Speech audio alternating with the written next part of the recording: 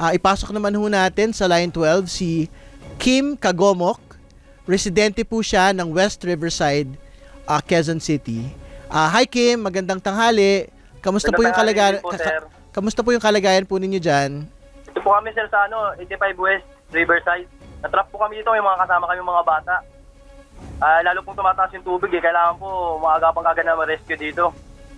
Ah, kung kaya nila pasukin dito sa may loob kasi kamuhay ng compound patinador. Ay, kisuyo lang po kami.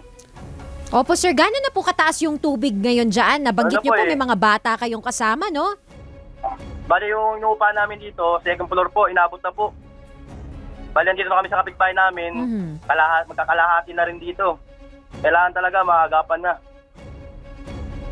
Pero paano ho yan? Pagka ho, nag-second floor akit na ho, pagka lumala po yung ah, pagbaha pa ho riyan, di papunta na ho kayong bubong. Ganun po ba? Ano pa po, may third floor pa dito eh. Pero hanggang, hanggang ka, ano maaari, kaya nila ma-rescue dito, yung mga bata, mauna na.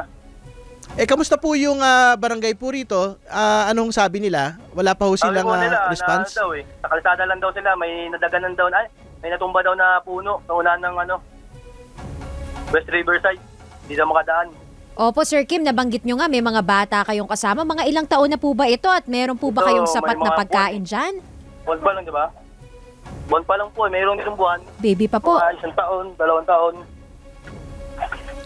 Pero ang, ang banggit niya, anong sabi ho nung ah, barangay? Anong barangay ho bang nakakasakop sa West Riverside? Akin. Ano po, yung Barangay Del Monte po ito eh. Sakop na ito eh. Ah, Barangay Del Monte. Senador West po. So, Mm. ah, anong sabi ng barangay? Ah, hindi sila makakarating dahil ano ba, may harang sa Madami pa daan? tuloy na kaso, yung iba. Sabi. Ah, bakit yung yung kabuuan ho ba ng bandang West Riverside talagang mabigat din ho talaga yung ah, kalagayan ng mga kababayan ho natin? Talagang Opo, kasi bahang-baha bababa na rin po? Op- Opo, bababa po talaga yung lugar na to dito eh. Ito yung pinaka, ano, eh, boundary ng Del Monte. Pa San Antonio. Pat Senador. Okay, sige po, sige po. Ah, manawagan ho kayo, ah, ah, Kim, no? Sa atin pong ah, Quezon City LGU, particular kay Mayor Joy Belmonte. Ah. Hello po, ako po si Kim Samuel Gogomo. Nanawagan po na sa... Nandito po ako sa 85 West Riverside na matulungan kami kasi na-trap na po yung mga bata. Saka marami pa po kami dito. Kung pwede po, pakipasok po kami sa loob ng compound. Maraming salamat po.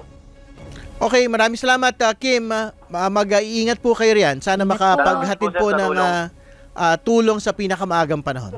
Para sa may init na balita sa loob at labas ng bansa, subscribe na sa Teleradyo Servisyo YouTube channel.